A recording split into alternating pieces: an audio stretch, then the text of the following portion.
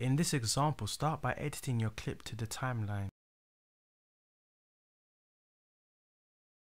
Navigate to the generators menu and choose shapes category, then pick rectangle. Superimpose the white rectangle over to clip V1 by dragging the rectangle to the superimpose button within the canvas window. Hold down the option plus shift key to make an exact copy of V1 onto V3 by dragging the clip straight up to the track. Now go to the effects tab within the browser window, choose video filters, then the blur category. Drag Gaussian blur filter onto the clip on V3.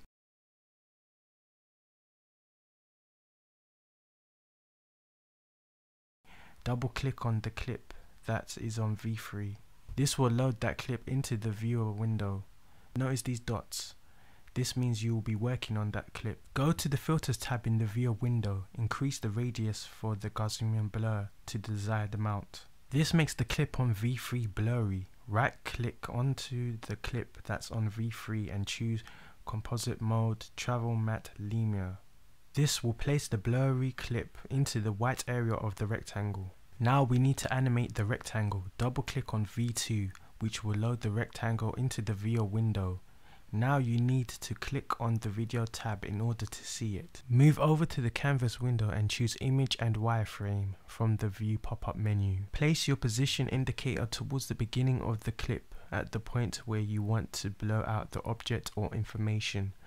Scale and position the rectangle over the object. Click on the add motion keyframe button located in the lower right corner of the canvas window.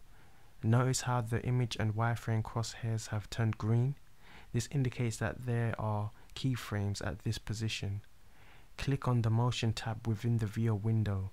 You can see the keyframes that have been created for these parameters. Move the position indicator forward a bit within the canvas window.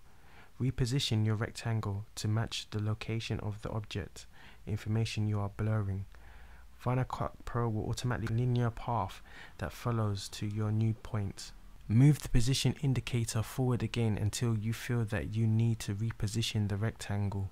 Repeat these same steps for as many points as you find necessary.